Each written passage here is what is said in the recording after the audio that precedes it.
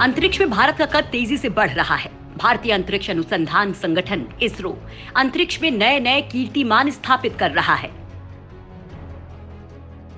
अब इसरो की योजना अपना स्पेस स्टेशन स्थापित करने की है। इसरो प्रमुख के सिवन ने गुरुवार को ये जानकारी दी।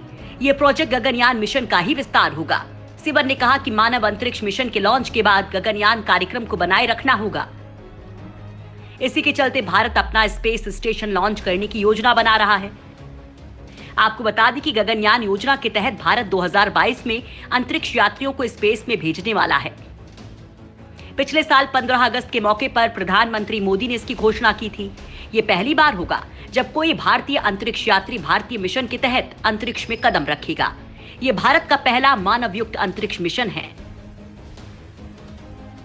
भारत सरकार ने इसके लिए अलग से एक दशमलव चार तीन अरब डॉलर का बजट रखा है। इस मिशन के तीन अंतरिक्ष यात्रियों को सात दिनों के लिए अंतरिक्ष में भेजा जाएगा।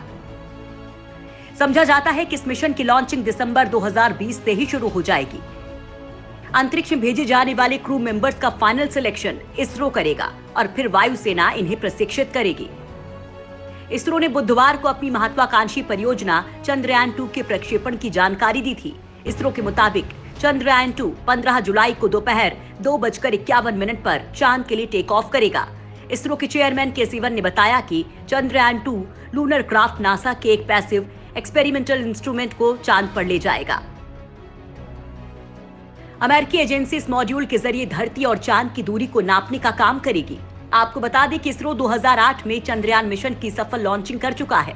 हाल के साल में भारत ने अंतरिक्ष के क्षेत्र में लंबी उड़ान भरी है। और दुनिया को अपनी ताकत का एहसास करवाया है।